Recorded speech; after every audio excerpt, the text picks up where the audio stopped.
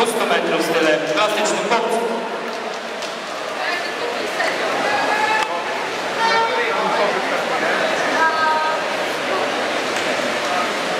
A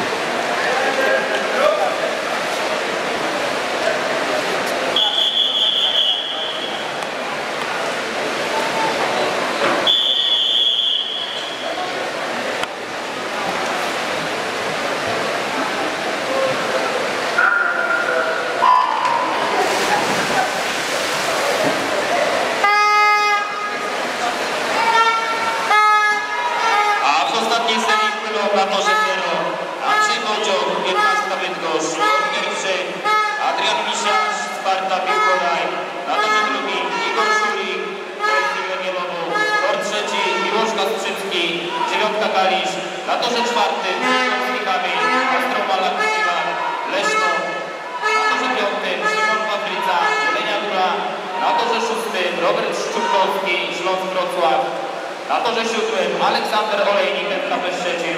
Na torze ósmym Jakub Konow, Skarpa Lublin. I na torze dziewiątym Michał Kotlewski, Kulka Morena Gdańsk. Ostatnia seria eliminacyjna 200 metrów stylem klasycznym. Miał? 36.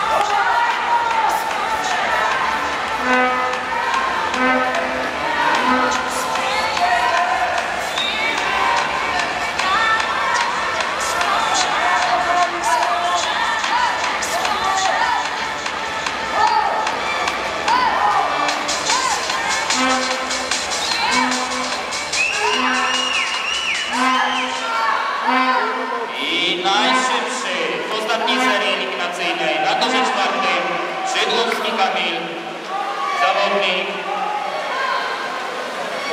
Astromala Kwawit Leszno, a jego czas to 2 minuty 35 sekund. 62 setne.